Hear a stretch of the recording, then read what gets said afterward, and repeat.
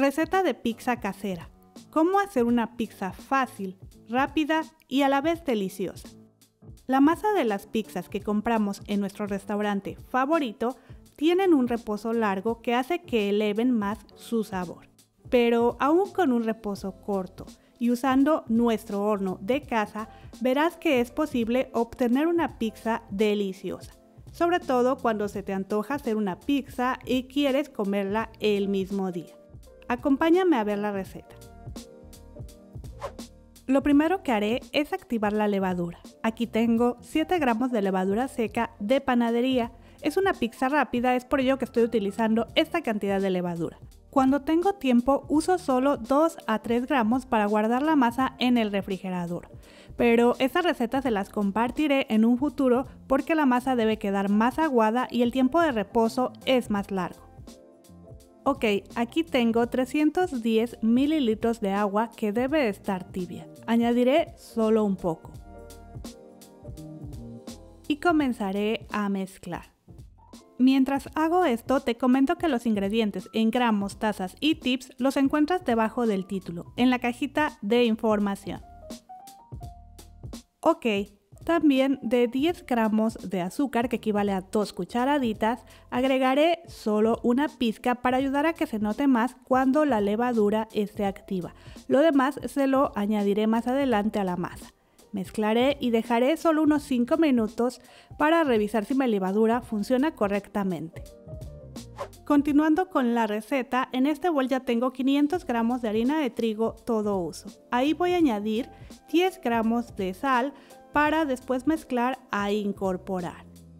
Y mientras hago esto te comento que con esta cantidad de harina te pueden salir desde una pizza gigante hasta cuatro pequeñas. Yo hice dos piezas de aproximadamente 30 centímetros de diámetro. Posteriormente haré un huequito en el centro de la harina. Ahí voy a agregar los demás ingredientes. Comenzaré con la levadura que debe tener en la superficie muchas burbujitas y al mezclarla escucharás un ligero sonido como si destaparas un refresco. Si la levadura es nueva no es tan necesario activarla por separado, pero sin embargo a mí me gusta hacerlo por cualquier cosa.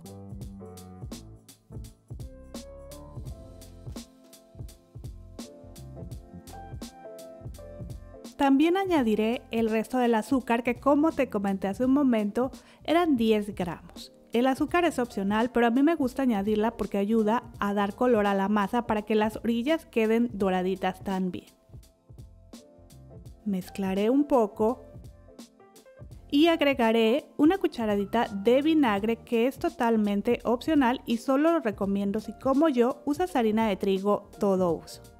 Incorporaré la harina y al mismo tiempo vaciaré el resto del agua poco a poco para no pasar.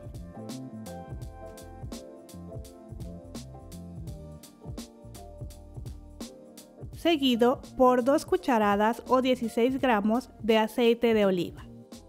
Quizá te preguntes por qué yo siempre comento en los videos lo de ir agregando el agua poco a poco. Lo que pasa es que no todas las harinas son iguales, algunas absorben más líquido que otras. Si tu masa aún se siente seca y terminaste la cantidad de agua que yo indico en el video, solo pon un poco más, no pasa nada.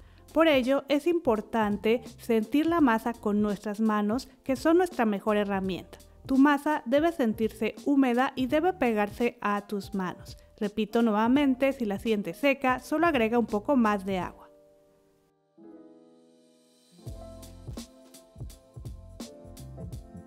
Ya que formé la masa, la voy a retirar del bol y colocaré en una superficie limpia y seca sin poner más harina. Amasaré por unos 15 minutos aproximadamente, solo obtener una masa suave y elástica. Como puedes ver, al ir amasando, la masa se va a ir despegando de tus manos. Y como no es una masa muy húmeda, amaso empujando y envolviendo la masa. La verdad es que es una masa muy fácil de manejar, pero recuerda, el proceso de amasado también es muy importante para obtener buenos resultados. A mí me llevó, como te comenté, 15 minutos, pero puede llevarte hasta 20 minutos. Esto ya dependerá de tus habilidades al amasar. Ok, aquí mi masa ya está perfecta, está suave y elástica. Como puedes ver, al estirar no se rompe. Voy a formar una bolita, pero para ello esta vez voy a aplastar ligeramente la masa con mis manos y doblaré sobre sí misma como se muestra en el video. Al final, con mis manos iré envolviendo bien, formando la bolita.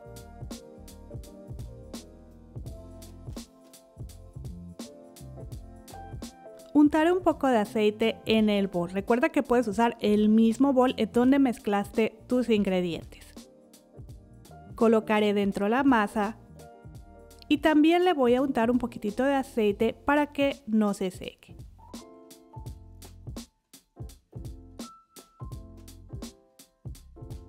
Cubriré con un trapo y dejaré reposar la masa a que doble su tamaño. El tiempo va a depender del clima en donde tú vivas, pero te recomiendo la dejes en un lugar cálido y bueno, la mía tardará aproximadamente una hora, quizá menos.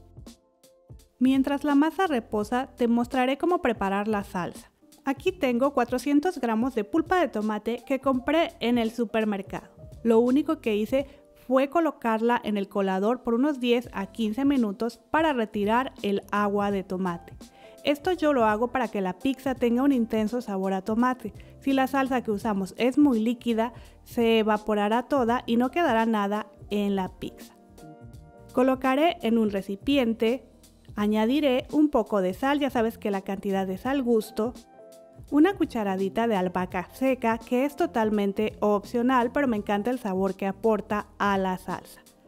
Agregaré también una cucharadita de azúcar para balancear los sabores y no quede tan ácida la salsa.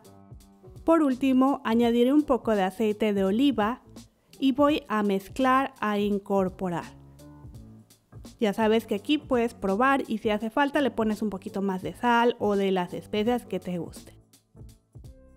Ahora para esta receta puedes usar pasata también, solo recuerda que debe estar espesita para que se quede en la masa. Y esta es la pulpa de tomate que yo usé. También consigues los tomates completos enlatados y en ese caso los debes aplastar con tus manos o con un pizapuré. No vayas a licuarlos. En una pizza debe sentirse el sabor a tomate. Créeme que la salsa que uses es tan importante como la masa para que tu pizza quede deliciosa. En fin, aquí ya pasó una hora y la masa ha doblado su tamaño, pero puede que tu masa esté lista en menos o más tiempo que la mía, por ello te recomiendo la revises tocando ligeramente con la yema de tus dedos. Si la marca regresa lentamente, quiere decir que está perfecta. En ese momento la voy a retirar del bol y voy a doblarla ligeramente para remover las burbujas de aire que se han formado. Posteriormente voy a dividir en dos porciones de un tamaño similar. Como te comenté hace un momento, puedes hacer de 3 hasta 4 piezas. Ya esto depende del tamaño que quieras tus pizzas. Ahora tomaré una de las porciones, presionaré ligeramente con mis manos y doblaré sobre sí misma como se muestra en el video. Es exactamente el mismo procedimiento que hicimos hace un momento con la masa completa. No voy a formar la pizza aún. Dejaré reposar por unos minutos para que sea más fácil estirar la masa y créeme que este extra paso hará que tu pizza quede aún más rica. Ya que las dos porciones estén listas, les untaré un poquitito de aceite por encima para que no se sequen. Cubriré con un trapo y dejaré reposar por 15 minutos. Puedes dejarlas hasta media hora, pero no más tiempo. Recuerda que te estoy compartiendo una receta de una pizza rápida, por ello usé un poco más de levadura y con esta cantidad que usé no es recomendable guardar la masa en el refrigerador. En ese momento también encenderé mi horno a 250 grados centígrados y colocaré una bandeja amplia rectangular dentro que es donde hornearé mi pizza. Aquí ya pasaron 15 minutos. Tomaré una de las porciones y voy a espolvorear un poquitito de harina en la superficie para que no se pegue la masa. Iré estirando con mis manos como se muestra en el video del centro hacia afuera, formando un círculo sin presionar las orillas.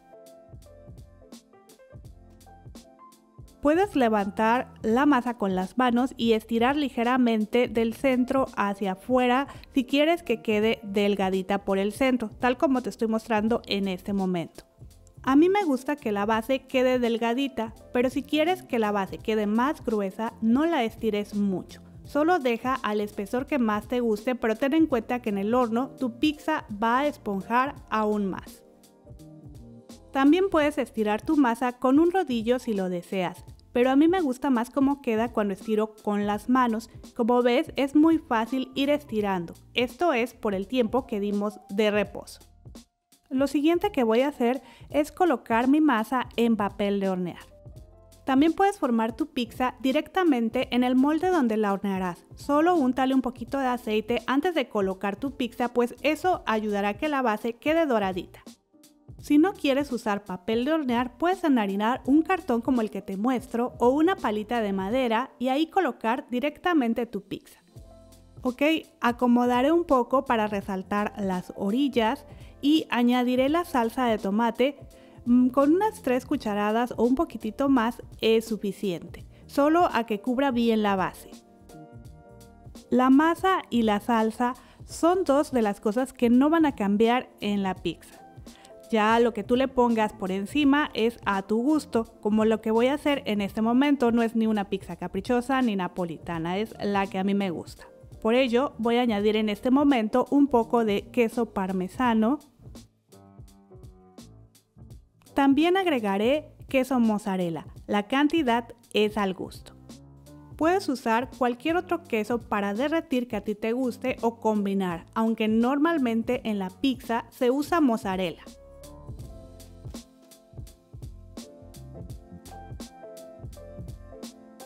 Y como a mí me encanta el queso, también voy a agregar unos cubitos de queso azul. Salami, que es un ingrediente que a mí me gusta en la pizza y que aportará mucho sabor, pero repito, puedes sustituir con lo que más te guste. Por ejemplo, cuando me sobra algo de pollo de la comida, lo uso. Si tengo pimientos, también los agrego. Eso es lo que hace una pizza tan especial. Con ella podemos aprovechar ingredientes que tenemos en el refrigerador. Agregaré champiñones en conserva porque siento que le dan mejor sabor que los frescos. Y otra cosa, no uses mucha cantidad de ingredientes que liberen agua al cocinarse porque al hornear esa agua se liberará y causará que la base de tu pizza quede empapada, muy aguada. Y no queremos eso voy a ponerle un poco más de mozzarella rallada. No tanto porque no queremos cubrir todos nuestros ingredientes, queremos que al sacar la pizza del horno se vea el relleno o cobertura que hemos elegido. Por último voy a añadir un poco de orégano seco que es uno de esos ingredientes que tampoco puedes omitir en una pizza y solo un poquitito de aceite de oliva. Ahora si quieres que tus orillas queden crujientes y aún más doraditas, puedes como yo rociarles un poquito de agua o también puedes barnizarlas con un poco de aceite. Esto es totalmente opcional, yo lo hago porque me gustan las orillas crujientes, pero si a ti te gusta que queden suaves, omites esto. Colocaré la pizza en un cartón, esto me ayudará a deslizarla en el horno. Como puedes ver aquí, la pizza se desliza fácilmente. Y bueno, aquí el horno ya está a 250 grados centígrados. Puedes hornear tu pizza de 220 grados a 250 grados centígrados, dependiendo de tu horno. Las vamos a hornear 5 minutos en la parte más baja del horno y después de 5 minutos voy a transferir a la parte de arriba y dejaré de 2 a 5 minutos o hasta que se vea doradita. El tiempo va a depender de tu horno. Mi pizza estuvo en el horno un total de 8 minutos. Si tu horno es de gas, no es necesario que coloques tu pizza en la parte de arriba, puedes dejarla en la parte de en medio. Y si tu horno es eléctrico con ventilador, activa esa función con calor arriba y abajo para que se hornee mejor tu pizza. Yo la dejé reposar solo 1 a 2 minutos antes de cortarla. Hace tiempo hice una encuesta preguntando cuál es la cobertura favorita para una pizza y la mayoría votó por la napolitana, que es la de tomate, queso y albahaca. Créeme que a mí también me encanta, por ello les prometo pronto compartirles también la receta. Y bueno, aunque una pizza hecha en horno de casa nunca igualará a las que se preparan en horno de piedra, también te gustará mucho. Además es más rápida de preparar cuando tengas antojo y no quieras comprar. Como puedes ver, la pizza queda doradita por la parte de abajo y huele deliciosa. Créeme que sabe mucho mejor. Te aseguro que te encantará. Yo la verdad es que prefiero prepararla en casa en lugar de comprarla porque así uso los ingredientes que a mí me gusten y los sobrantes de comida. Así he descubierto sabores diferentes de pizza que me han gustado mucho. No tengas miedo a experimentar y a probar a hacer tu propia pizza en casa. Te sorprenderá lo fácil que es y lo deliciosa que quedará. Si te ha gustado la receta, te invito a que te suscribas y a que compartas con tu familia, amigos o en tus redes sociales para que más personas la prueben. También me encantaría me dejes un comentario para saber qué te ha parecido la receta. Nos vemos en el próximo video. Hasta luego.